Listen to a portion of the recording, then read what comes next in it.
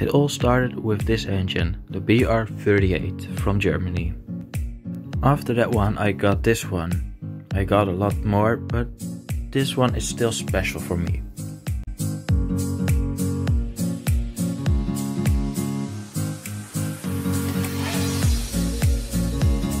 Then I found a Tomix Thomas for N-Scale.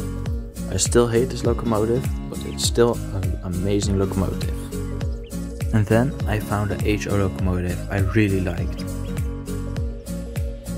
I remember that in one of my videos I said I never would buy a Thomas, uh, Thomas and Friends locomotive for HO because I wanted to have it realistic.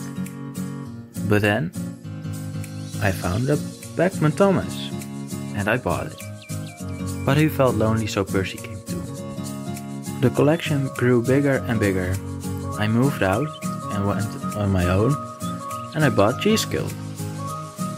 At first it was only Thomas, but he felt lonely again, so Percy came.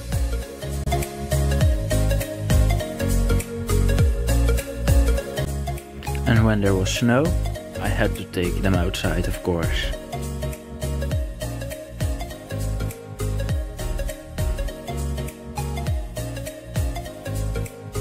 A few weeks ago, a friend came here with his locomotives, his DCC locomotives, to see if my layout was good enough for DCC. And I have only one answer for that. Yes, yes it is.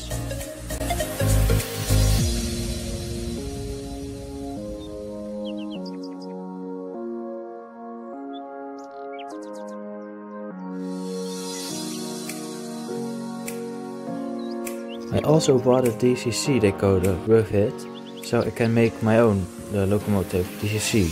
And that is where I am now, thinking about which engine will be the next to be DCC.